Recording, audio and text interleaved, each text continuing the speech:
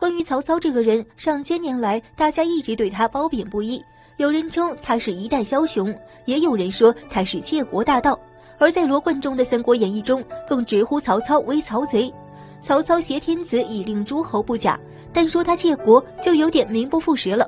毕竟直到他去世都没敢称帝。那当时权势滔天的曹操为何不登上那九五之尊的宝座呢？小编今天就来跟大家介绍一下。首先，袁术的前车之鉴，自从秦朝爆发了陈胜吴广起义，“王侯将相宁有种乎”这句话便深入人心。尤其是草根出身的汉高祖刘邦做了皇帝后，更让一些底层出身的平民有了做皇帝的梦想和勇气。东汉末年，天下大乱，诸侯割据，谁都想将汉室取而代之。而在诸侯中，袁术便是那一个敢率先冒天下之大不韪者。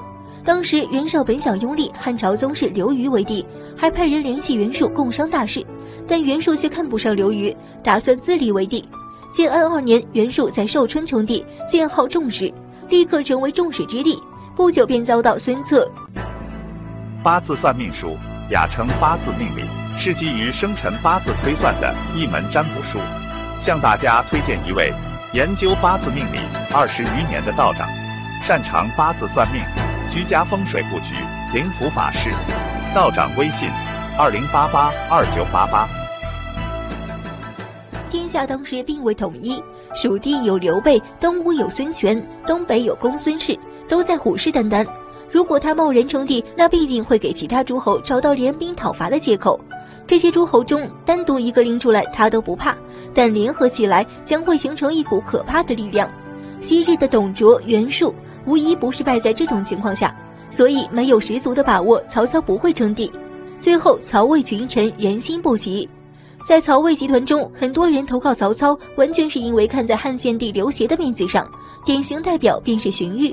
如果曹操称帝，那这些人很可能会投靠其他诸侯攻打曹操，或带着汉献帝另立朝廷。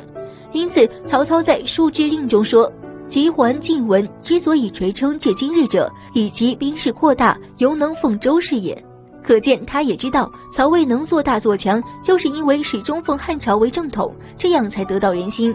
如果要称帝，他必须剪除汉朝最忠心的羽翼，而他也一直在暗中做着这件事。等到他死后，所有工作都准备的差不多了，他儿子曹丕便光明正大的称帝了。